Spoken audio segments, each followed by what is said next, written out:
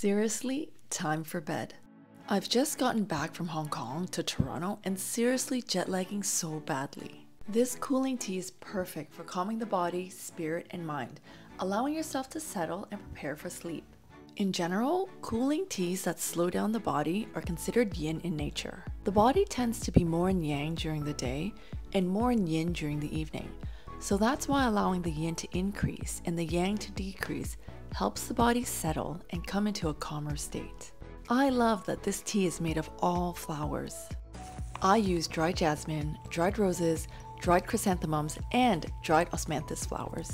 I used rock sugar for this recipe, but honey works just as well. Just let it cool to 60 degrees Celsius before adding honey so the heat doesn't destroy its benefits. You can use these disposable tea bags to keep the loose flower together or use a teapot. I just wanted something fast and easy, so dropped everything into this tea bag, sealed it, and added it to a glass cup.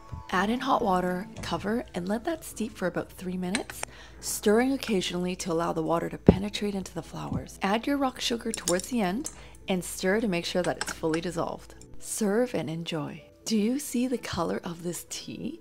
It smells amazing and tastes light and sweet with slight bitter aftertones. And now,